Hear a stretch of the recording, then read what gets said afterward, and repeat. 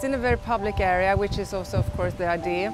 And it's very ephemeral and temporary, and anything could happen. And that's also, one just needs to surrender, or of course, uh, it will be dissolved. But it seems there are many morning joggers here, and sometimes I tend to see that they follow the lines of the pattern. I think it's incredible that there's stars on the beach and it becomes a part of everyone's daily lives and they live and interact with work. Every morning there's a rake that scrapes up the sand, so why not put a pattern in it?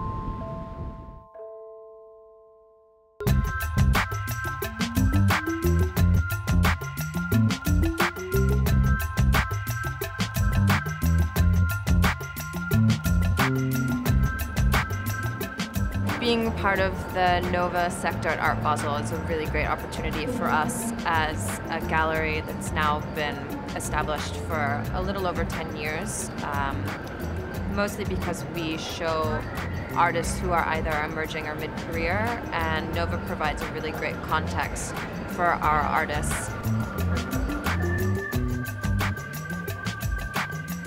Uh, we chose to come to Art Basel Miami this year uh, Sarah Crowner and Milena Muzquiz. Uh, they are American and Mexican artists and we like the idea of a dialogue between them and how they both work with ceramics. And basically they, they are very interested, both of them, in this kind of traditional uh, handcrafts and, uh, and in the idea of a very sophisticated idea of color. Art Basel Miami for us is a very important bridge between Europe, United States and Latin America. It's like the spot where all these worlds come together no? once a year.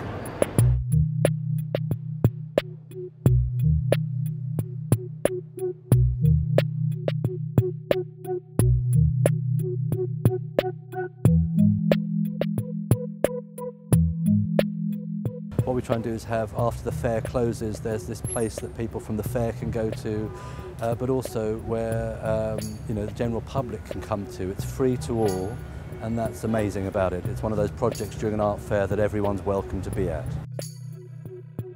Most galleries have artists that make some kind of digital media.